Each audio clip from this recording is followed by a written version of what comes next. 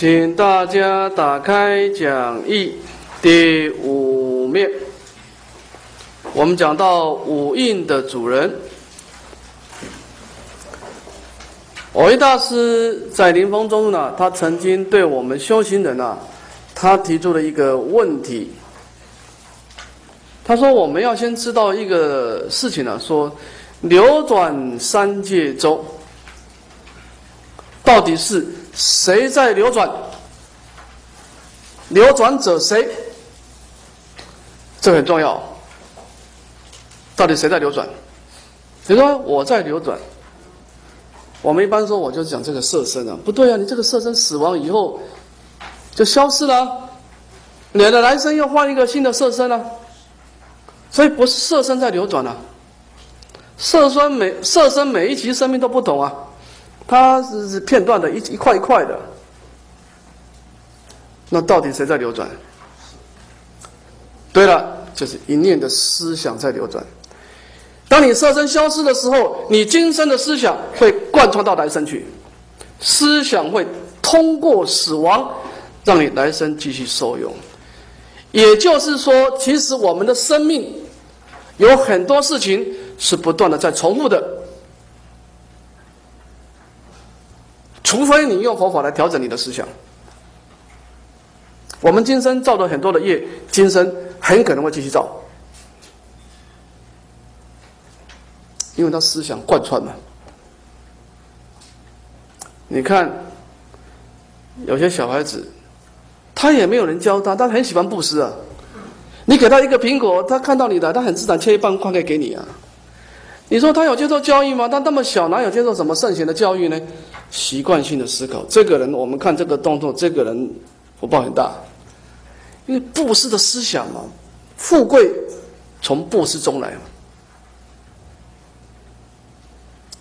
有小孩子经常跟他争吵，这个人生命当中很可能会丑陋。称会丑陋，你看，你要你的这个庄严啊，从忍辱中来。如果这个小孩他的东西都藏起来，不跟人家分享，这个人贫穷下贱啊，贫穷从千滩中来。所以你你大概看到这小孩子，大概他就是因为小孩子他不会掩饰自己，他最纯真的。但三十岁的人就不看不准的啦，因为他的行为哈都都修饰的很好了哈。所以我们的思想其实继承了过去啊，当然我们也可以做调整啊，到了今生重新改变，我一定要改变啊。那么总而言之呢，整个流转当中主导我们的是思想，而思想当中最可怕的是思，而不是想。那想是一时的，思就是我们心中的那种啊坚定的一种意志力。我们讲一个实际的公案给大家参考，在佛陀的历史有一个叫舍利弗尊者，大家都很清楚，他曾经五百世变成毒蛇，大家都知道啊，这是怎么回事呢？我们说明一下。那么这是在过去啊，波罗奈国啊，有一个做买卖的生生意人。这个人很会做买卖，他做完买卖以后啊，他赚到了钱啊，他除了日常开销以外啊，他干什么去呢？他也不是去买房子，也不是买车子，他买黄金，他特喜欢黄金，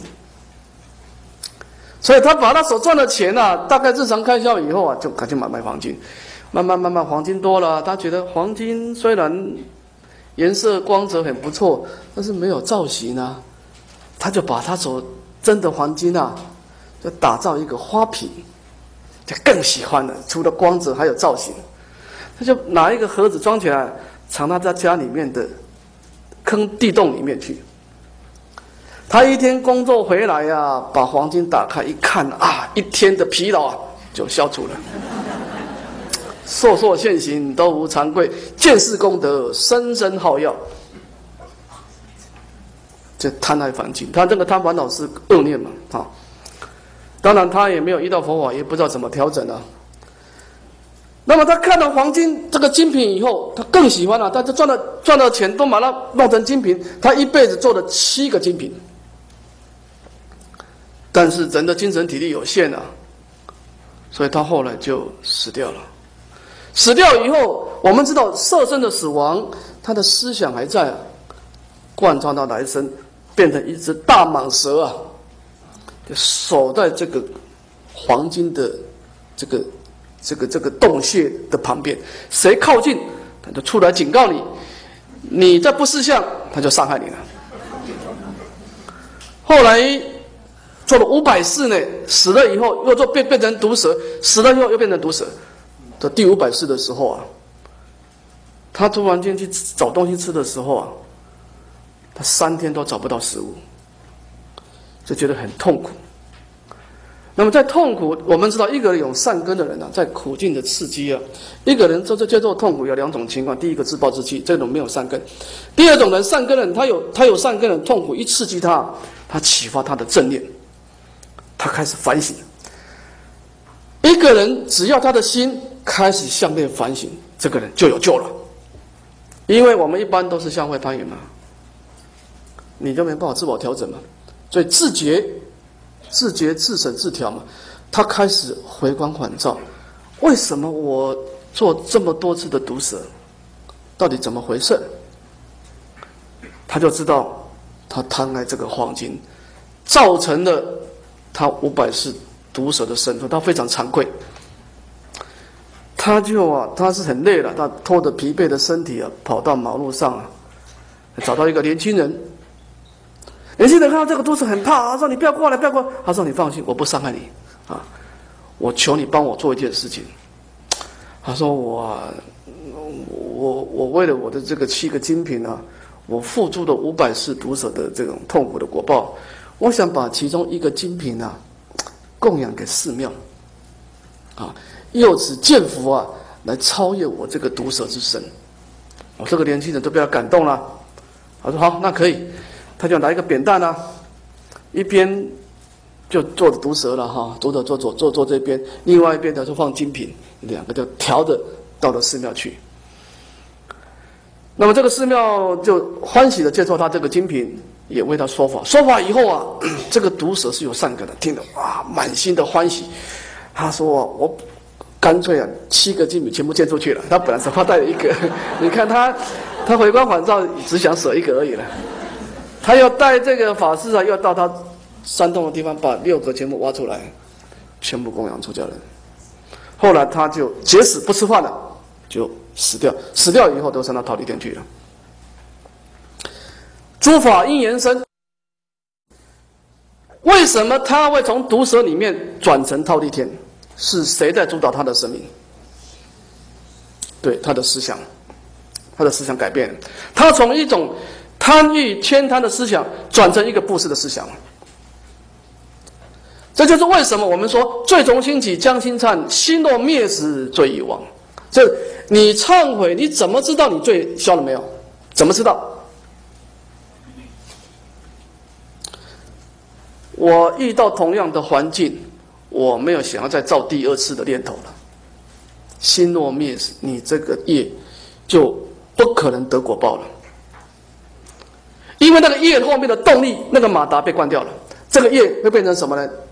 唯识学上不增长叶，你只要不刺激它，它不可能得果报。它叶种还在，但是它这个种子啊，它已经枯黄了，它没有生长功能了。叶啊，叶要得果报，一定要不断的造作，今天做，明天做，要要增长，要增长，这个业才有力，才有气势啊。所以，忏悔所对治的业呢，在唯识学上说啊，说我曾经造了杀盗淫妄，但是我真实的忏悔的，我从今以后也没有再起现行的，这个业变成这个业也没有消掉哦，没有消掉，它呢潜伏在阿那耶识的大海的深处的某一个角落，你只要不要再刺激它，它没有得果报的力量。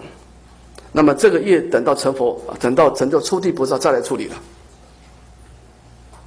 就带业往生就是这样，叫带业种，不能带现行的，你不能再起现行了。这个业只要还有现行的滋润，只要你还在造现行的业，这个业就不能带哦。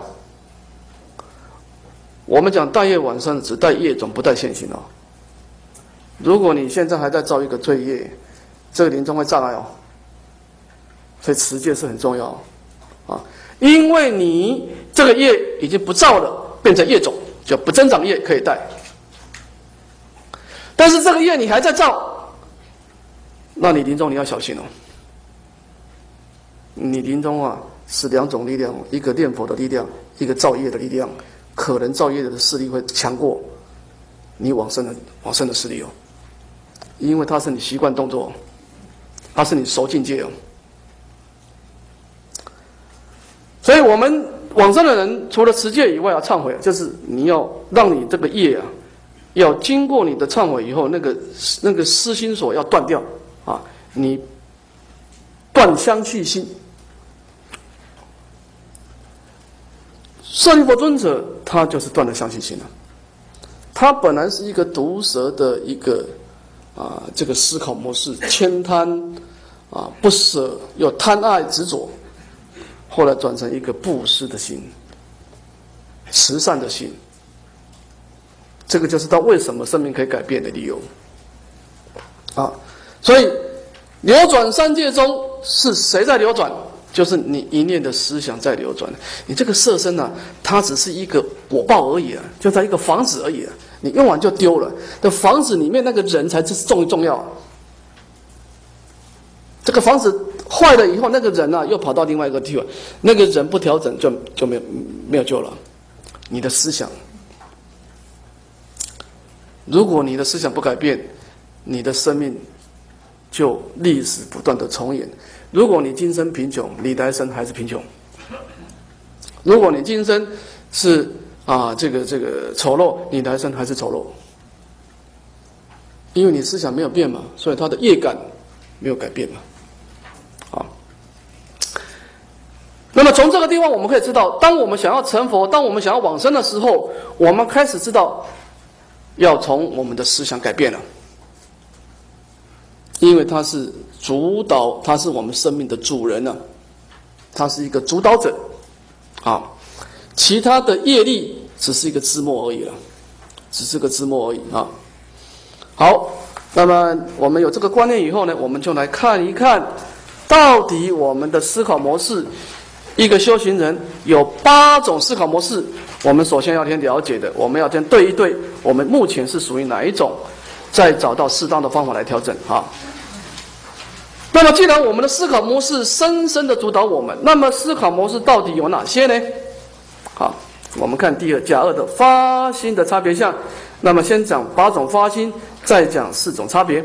先看八种发心的第一、第一跟第二啊，请合掌。是有行人一向修行，不救自心，但知外物，或求利养，或好名闻，或贪现世欲乐。或望未来果报，如是发心，名之为邪；既不求利养名闻，又不贪欲乐果报，唯为生死，为菩提，如是发心，名之为正。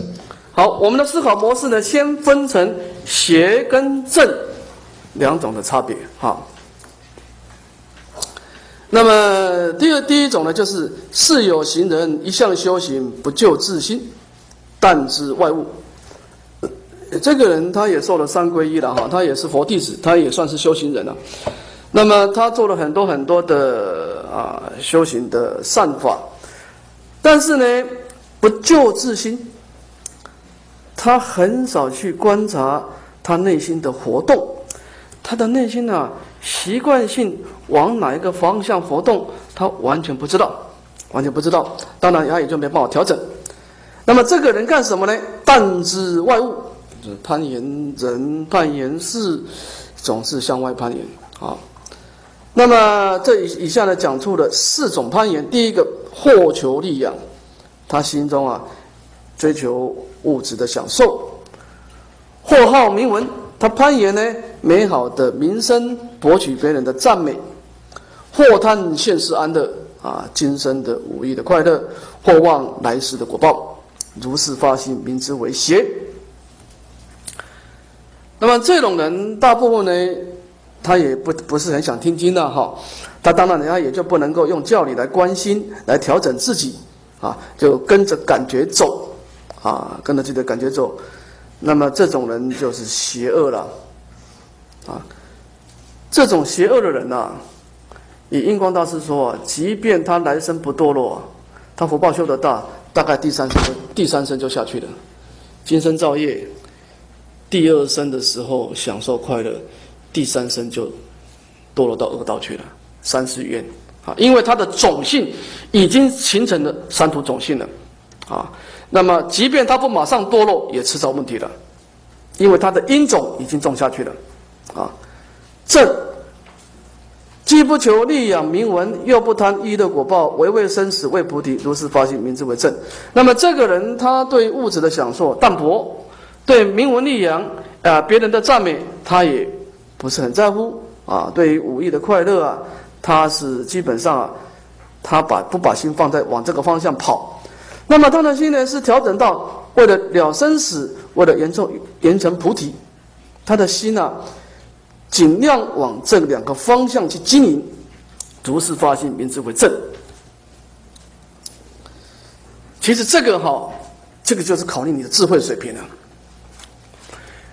我们一般人追求名闻利养，你怎么把它调成正呢？这不是勉强说，啊，我现在开始要走上正，没有没有用了啊！你要有一种智慧的关照，就是说啊，如果从佛法来说啊，就是说，其实佛法就是怎么样，修行就是什么，自我沟通了。你要跟自己沟通，你一定有盲点。所以，为什么佛法是觉？佛者觉，因为他觉悟是一切善法的根本。你觉悟了，他自然造善；他不觉悟，你打他也没用。所以，当你的心堕入邪的时候，你自暴自弃也没有用啊！你怎么办呢？你跟自己沟通，小心说服自己。你说，世界上人。追求快乐可以理解，人性本来就喜欢快乐嘛。那蚂蚁也喜欢快乐，但是我有需要追求无意的快乐吗？无意的快乐是有过失的了。我们今天早上说过，你追求今生的快乐，无常败坏的过失啊！注意求时苦，得时多不畏，失时怀忧恼，一切无乐事。你追求过过程很辛苦，得到的时候弟子心不安、担忧；失掉的时候，你又开始抱怨。你根本没有真正的快乐嘛？啊！所以无意的快乐是有过失的。佛陀说啊，譬如刀上的蜂蜜，不足一餐之美，而有割舌之患。你你喜欢刀锋上的蜂蜜，你舔那个蜂蜜，虽然有甜蜜的感受。但是你的舌头被割伤了。我们一个人喜欢吃蜂蜜可以理解，你但是你不一定要吃刀上的蜂蜜啊，你可以吃瓶子里面的蜂蜜啊。对啊，你可以追求圣道快，极乐世界也是无有众苦，但受诸乐嘛。圣道乐没有过失嘛。你可以把你的欲望转到极乐世界来嘛，所以。佛法它是怎么样呢？它转，它疏导。小善人他是喜欢用断，就是把那个善恶念断的，菩提心善念也断。大善佛法是疏导，你这个水啊，你有本事黄河泛滥没关系，我帮你疏导为灌溉。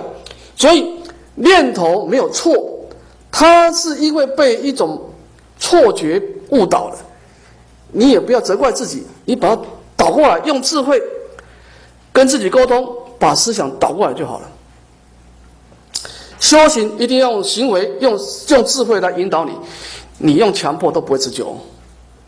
你看有些人，他要不用智慧，他只是持戒，他造恶以后不可以。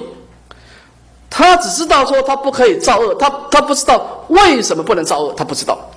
强压式的修行没有用哦，没有用啊，因为你。你还是想造恶啊？你只是怎么样？你不敢造恶而已啊！你不敢造恶，但是你的思想没有改变啊，你本质没有改变啊。你要修到你不想造恶，这才重点哦，这很重要。如果你还停留在你不敢造恶哦，那你的水平就不高了。你出世间的解脱都没有你的份哦，因为你你你的种性，你没有形成这种种性嘛，你你没有这个葡萄的种子，怎么种出葡萄呢？你必须用佛法的道理跟自己沟通，你要把它转世成去转成，我真的不想造恶了，因为没有意义嘛。我造恶的目的干什么？我不就是想追求快乐吗？但这个快乐值得吗？你得到这个快乐，你付出惨痛的代价，来生到到地狱、地狱、地狱去，值得吗？啊！其实我们到极乐世界去，我们也可以尝到快乐啊！这个快乐，圣道的快乐啊！所以你现在就是说，你当你有一个错误思想的时候，你不要责怪自己，坐下来。泡一杯咖啡，好好跟自己沟通。你把道理说，你用现在的你来说服过去的你。你要跟你要跟自己沟通，因为你过去留下很多的，我们一个人内心当中有很多正面的思考。那感谢过去的你了啊，也留下很多负面的思考。你要调整这些负面的思考，就是用佛法的道理跟自己沟通。就叫转世成智，它是可以转，但是你不能强压哦。你你要强压的话，有些人他是用强压式修行，就一直呵责自己，说你看你什么事都干不好，你这个人就不行，到最后哈，这个人会没有用了，没用。他恶事不做，他善事也做不了了，他很可能走入。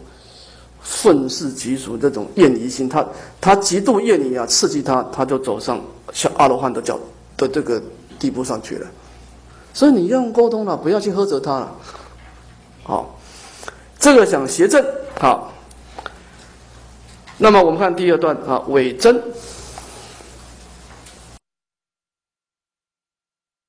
有罪不忏，有过不除，内浊外清，使情中怠。虽有好心，多为名利之所夹杂；虽有善法，复为罪业之所染污。如是发心，名之为畏。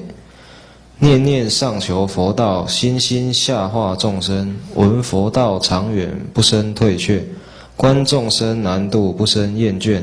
如登万仞之山，必穷其顶。如上九层之塔，必照其巅。如是发心，名之为真。前面的邪正啊是比较纯的，就是这个人邪就是邪，这个人正就是正。但是这个伪啊，就是他，你说他邪，他又带一点正；你说他正，他又带一点邪，就是掺杂了啊。这种人可能比例会蛮多的。好，我们看这个为，这个人他也曾经发好心呐，啊，来修行。他也希望能够往好的方向走，但是呢，他呢，他的功课做的不多了哈。他平常没有自我反省，有罪不忏，也没好好持戒啊。有过失，他也不知道怎么去忏悔、去苛责、去改变、去调整。有过不足啊，这个过失呢啊，比方说啊，他有这个不好的习惯呐，贪睡啦。贪吃啦等等，有些不好的过失哈。内浊外清，始情中怠啊。内心污浊，但是表面看起来很正常啊。那么刚开始很勇猛精进，但是福报现前以后呢，就懈怠放逸了。就是这个人呐，他不持久。虽有好心，刚开始也希望往好的方向走，但是呢，名利现前，又夹杂的名利心啊。虽有善法，又夹杂的罪业。如是发心，明知为伪。这种人就是所谓的善恶掺杂，善恶掺杂啊。善恶掺杂，一般来说哈，作业会先得果报，因为一般来说，罪业的势力会造的比较重。一般来说，所以你看哦，我们经常看到有些人哦，慈善事业、慈善事业做了很多呢，但临终的时候相貌不好看那你说因果何在呢？他做这样多的慈善事业，你看他的相貌不是好的相貌啊。你别紧张，他的善业可能第三次才出来，因为他强者先迁，你所做的每一个业都跑不掉，都跑不掉。但是得果报的时候，他要排一个次序了，要排个次序的，就是说，如果这个人造了很多善业，而没有表现出来，合理的推论就是他造的罪业比较重，这个人可能两个都造，罪业先表现出来了。但是他所造的善业也没跑掉，以后再说了，啊，所以这个伪的人要注意哦，因为伪的情况哦，大部分大部分的哈，作业都会先出来，啊，那么真这个是难得哦，好，念念上求佛道，心心消化众生，他的心已经被佛法的思想啊，慢慢的调整，慢慢的教育啊，已经是往。上求佛道，向化众生的地方跑。虽然他的行为偶尔还有一些过失，但是他的大方向已经是调整成上求下化了。啊，那么剩下就是时间的问题。他已经慢慢慢慢，一个人思想改变以后，至少他是在进步了。这个人是保持在 inclusion 啊，他一定今天比昨天进步，明天比今天进步，啊，对他来说。成功只是时间的问题了啊！闻佛道长远不生退却啊！观众生难度不生厌倦。这种人绝对不是只有一种横力而已，应该有智慧的层次在调自我调整的。这种人心理素质都非常好，他对经论的学习，他心中有很多法宝，自动在随时在调整自己的心态。当他沉梦的时候，他就诵《华华经》。来启发他的心。当他攀岩的时候，他诵《楞严经》《金刚经》来调和自己的攀岩。他用空假二观善调其心，所以他永远保持中道。好，如登万仞之山，必穷其顶；如如如如上九层之塔，必造其巅。啊，这个人就是他的理想抱负啊，已经成就了。如是发心，名之为真。啊。一个人心态调整以后啊，他的行为不可能不一定马上跟得上，啊，他可能还有一些习惯性的行为，但至少这个人呢，他的情况有一个特点，他自我调整能力、自我反省能力很强。他做了错事，他在很快的时间会自我调整，他的那他里面有一有一个系统啊，就是自我反省的系统会启动。他跟我们一般人不一样，我们一般人造的作业就就造的就造了背，对吧？他不是哦，他造了以后，他很快的会检查出来，然后自我调整，他会找他会找到适当的药，让下一次的过失降降低了。也就是说，他的心中已经有一种自我调整的系统出现了，不简单了。他已经安住菩提心，而且他也善调其心了。这种人生命对他来说非常有益啊！这个这种人要活得长寿才好，因为他每一天都在进步啊。每一天每一天对他都意义重大。这种人我们一般说啊，修行上路了，上高速公路了啊。我们现在还在司机打转呢哈，找不到路啊。那么就是说，安住跟不安住哈。人要先求安住，再求调伏。因为你安住菩提心里以后，你你就会自我调整了。当你还没有真正找到菩提心的时候，你的心就起伏很大了。一个人最怕就没有安住，因为他有时候起恶念，有时候起善念，所以这个人没有根呢。所以我说，这个人只有善念，没有善根呢。因为你不你不知道他明天发生什么事情了。他好的时候哦很发心啊，不好的时候就是什么都不做。那这个人是用情绪化在修行的啦，用情绪化不好，因为你没有根呢，你的生命充满了变数啊，充满了变数啊，你还没有上高速公路啊，没有上路啊，嗯。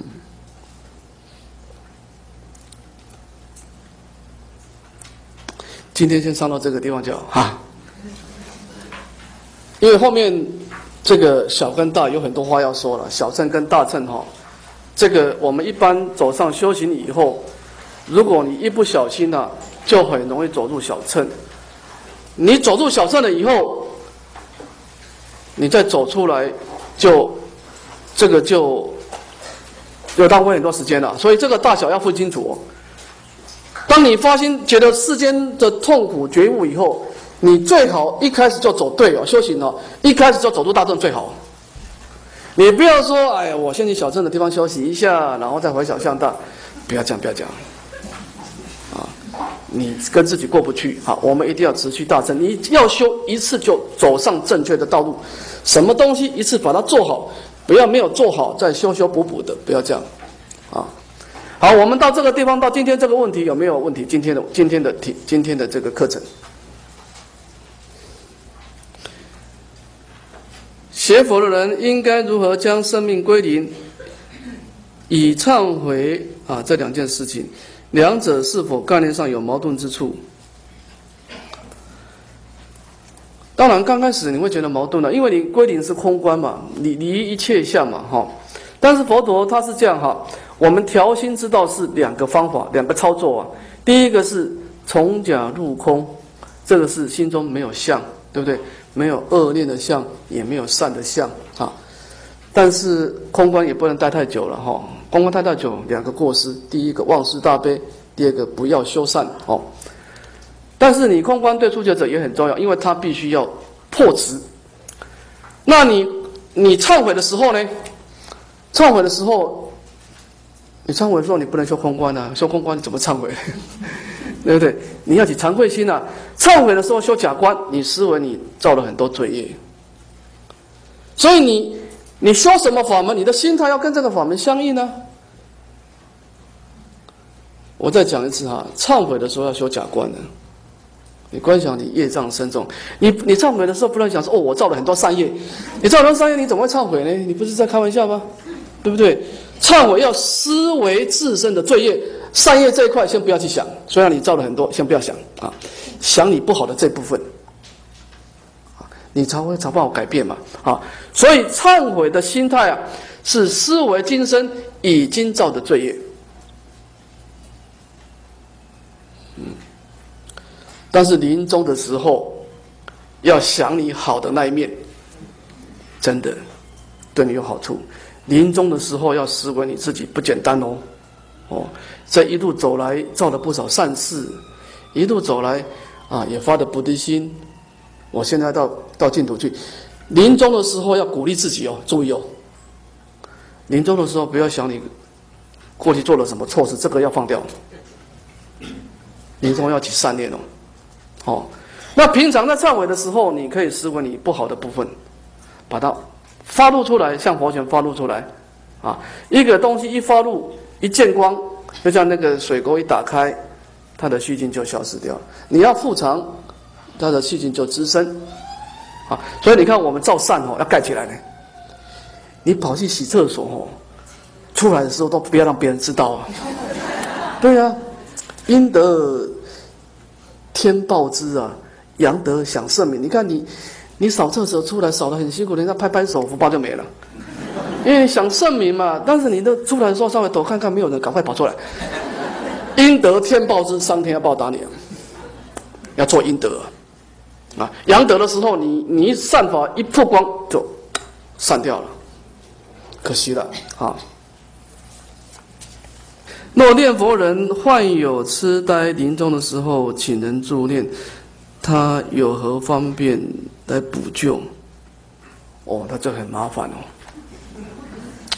因为痴呆症哈得第六意识，因因为你，你最重要是第六意识的，你没办法跟他沟通嘞。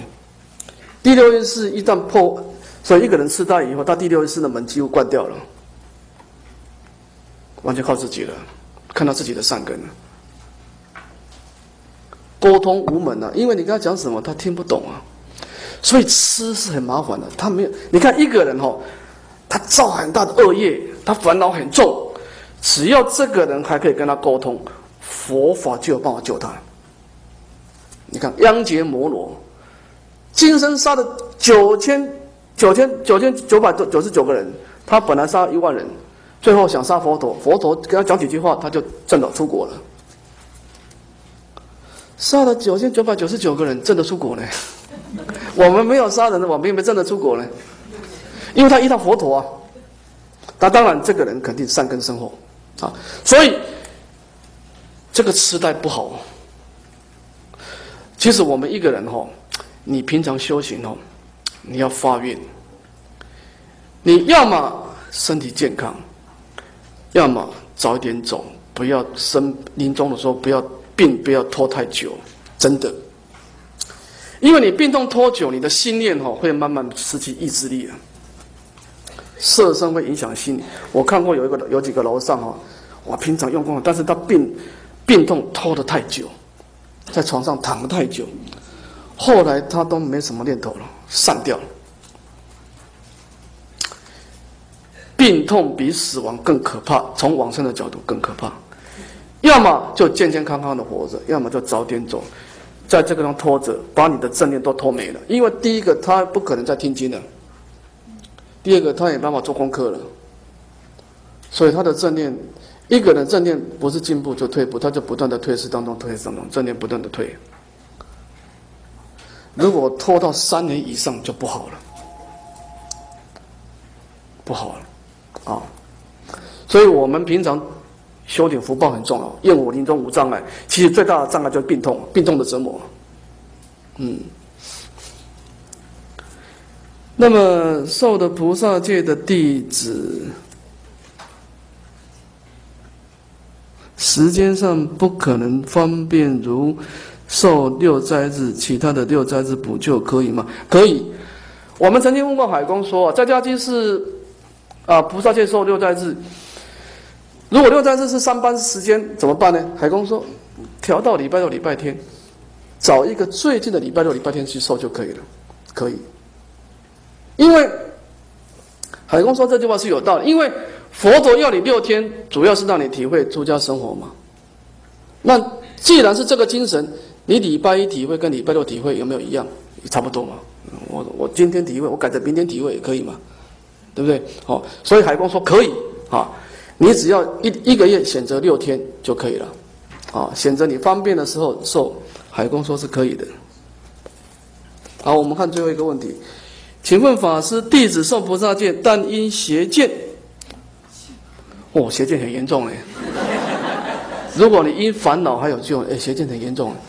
邪见破了，邪淫的重罪，经法是你的指导，派战一年可忏罪，然后可以重受菩萨戒。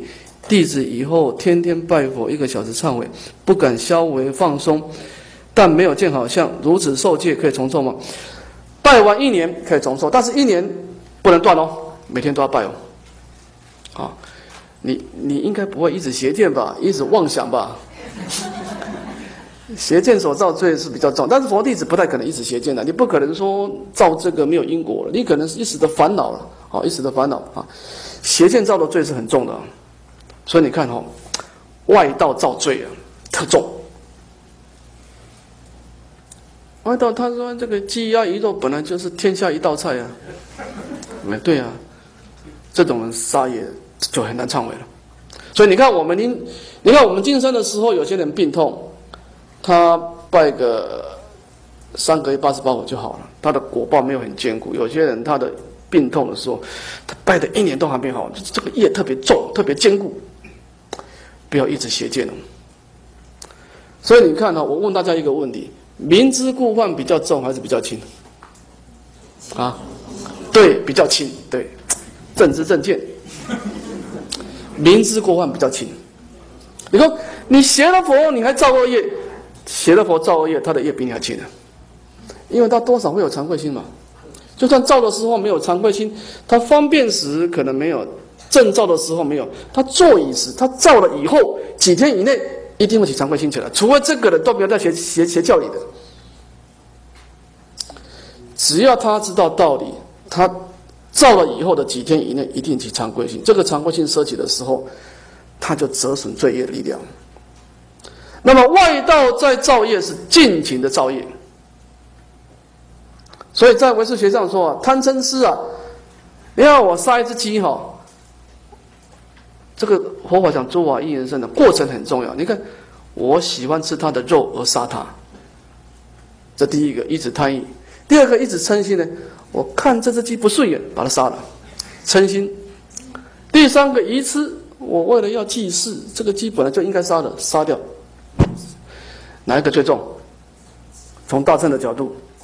疑痴最重，第二个呢，嗔心对，在菩萨界里面，贪欲是最轻的，痴是最重，第二个是嗔，第三个是贪。